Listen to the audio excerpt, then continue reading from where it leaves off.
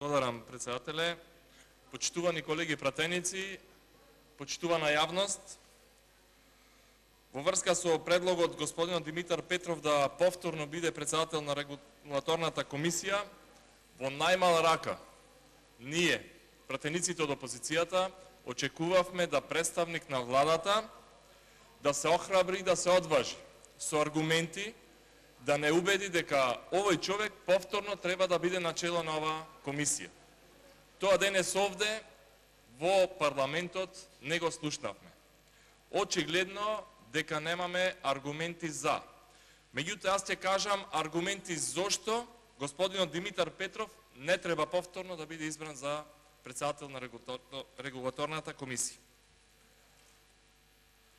Ке се надоврзам на дискусијата на предходниот дискутант господинот Стојановски и со документи ќе види јавноста како во изминатиот период господинот Петров играше по музиката која што свири Никола Груевски и врвот на партијата ВМРО да ДПМН.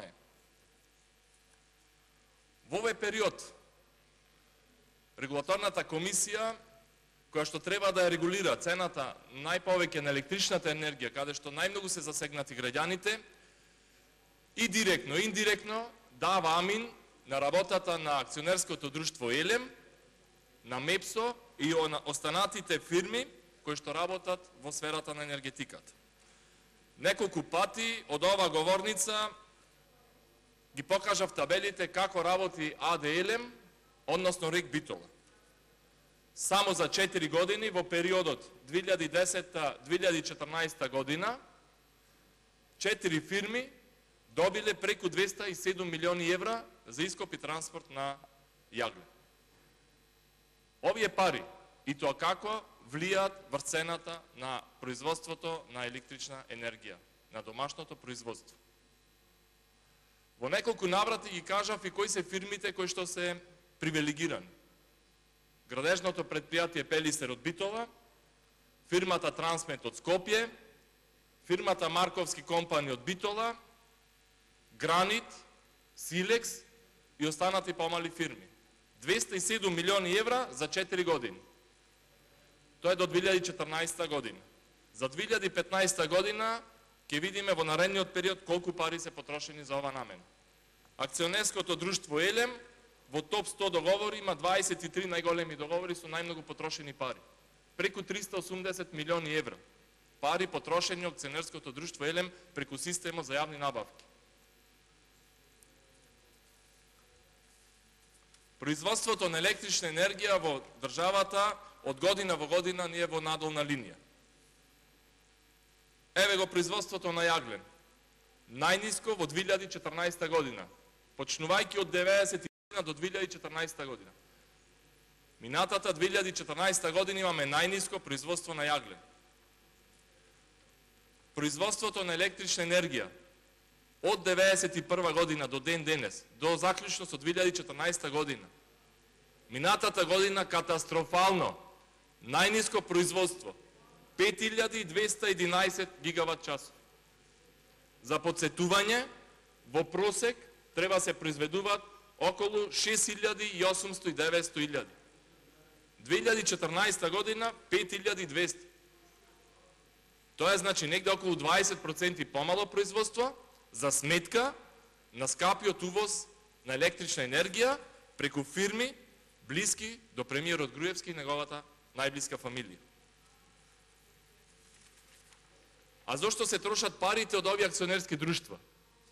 Наместо да се инвестираат во продуктивност, во подобрување на производството на електрична енергија за нови капацитети, парите се трошат за барокна фасада на зградата на АДЛМ Битола, на АДЛМ Скопје. Од почетните 11 милиони евра, со плюс договори, анекс договори, што е практика на оваа власт преку системот за јавни набавки, за кој што и тоа како имавме критички осврт, барокната фасада на Елем сега веќе преминува 15 милиони евра. 15 милиони евра наши пари, пари на граѓаните на Република Македонија, се дадоа за гипс, за стиропор и за боја. За изгледот на Елем, зградата на Елем да има стил барок. Сигурно дека овие пари ако се вратеа во системот на електро во електросистемот, дека цената на електрична енергија ќе беше нешто помало.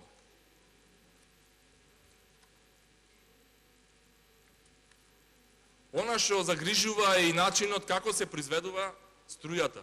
Еве еден пример.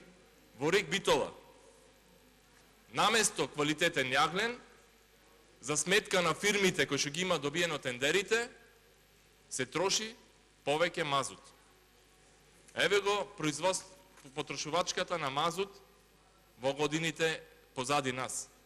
Ако во просек годишно се трошеле околу 10.000 тони мазут, минатите две години се крајно фрапантно загрижувачки. Се троши мазут 2012 година 23.000 тони, 2013 31.000 тони мазут. И сигурно тука предпоставуваме дека вишокот на пари од провизиите завршуваат во блиски луѓе до власт.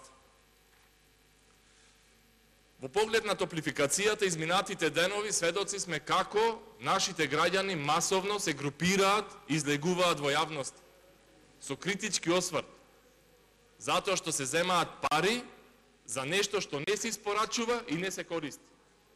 Тоа се случува во Скопје, тоа се случува и во Битола. За информација, во Битола веќе неколку години, по заслуга на оваа власт, и веќе ја нема топлификација. Граѓаните се приморани да бараат алтернатива за грејење. Се повеќе се користат дрвата како огревно средство. А со тоа предпоставувате дека се зголемува и загадувањето во Битола. Почитувани овие беа дел од аргументите со кои што ние кажуваме зошто господинот Димитар Петров понатаму не треба и не сме да биде председател на оваа комисија. Кажа предходниот дискутант.